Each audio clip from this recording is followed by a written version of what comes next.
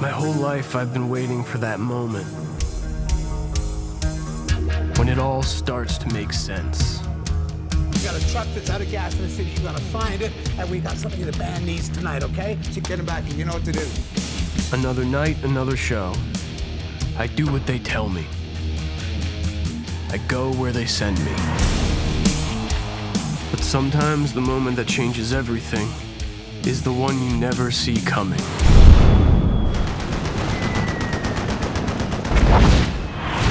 Sat down every time you made a record or a movie or any kind of creative endeavor, and you tried to sort of say, here are the 10 things that we're going to hear back from people about how they perceive this work. I guarantee you that the, the most common perceptions of how people would never make that list because it people always come from they see it from some other place that you would never go when you're creating it so the lesson i learned early is you don't even start that um, uh, that way of thinking because you'll always lose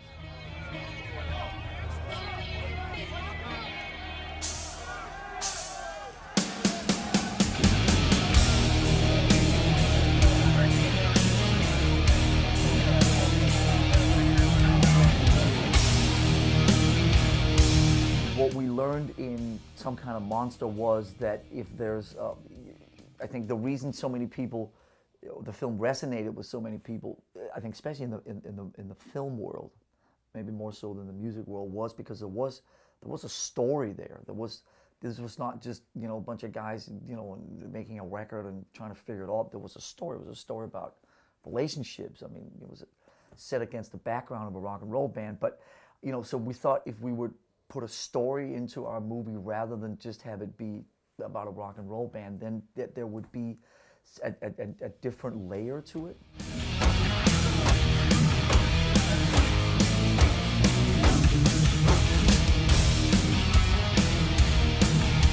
I mean, everything for this film was created for the film. I mean, there was no. Um,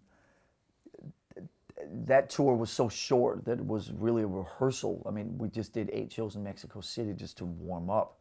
Uh, most concert films are filmed on tour, on a, on a, on a sort of on a functioning tour. So, and, and, and, and they're usually not filmed until you're, you know, a year into the tour and all the bugs are worked out and everything, you know, sort of functions, you know. Um, uh, we didn't have the luxury of this when we were down in Mexico. We were still sort of piecing it all together. By the time we started shooting up in Western Canada the following week, we were still piecing it all together. And uh, but the luxury of treating it, you know, the, the, the approach was a film shoot rather it's not a sort of like these concerts. It was a film shoot. We we, we, we looked at the audience as extras and we would start and stop and let's play that again and let's do that and move the cameras over here and stuff. So it, it, it was a little bit more um, uh, of, of, that kind of an approach.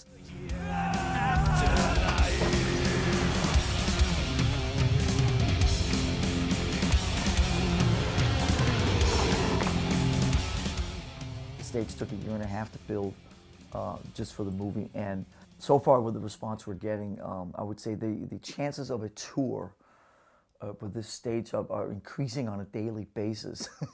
with the more response and more requests we get for it. But I would say that it's not um, it's not imminent. It's not being booked as we're speaking, and it's not um, and it's probably like if you take the UK for instance. Um, I don't know if it's the type of thing that would fit into the NEC or to the SECC in Glasgow or whatever. I mean, I'm sure it'll fit in the O2, but I don't know if it, it may fit into the new venue in Manchester or something. But the point is that it may be more selective. It may be a week at the O2 rather than seven days across England, you know what I mean, in terms of just the, the practicalities of it.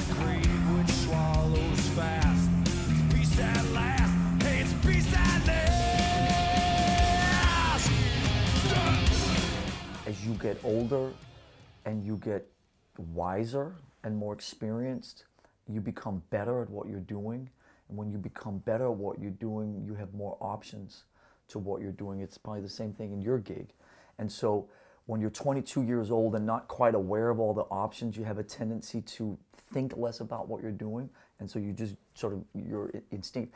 It's we're, we're what we do, and I don't want this to sound wrong. We're very good at that particular thing we do, and so you know, we can kind of, well, we can do it this way, or we could do it this way, or we could play it fast, or we could play it slow, or we could, you know, pick it, or we could. There's so many, you know, where 20 years ago we would just kind of do it. Now we think of all the different ways we can do it.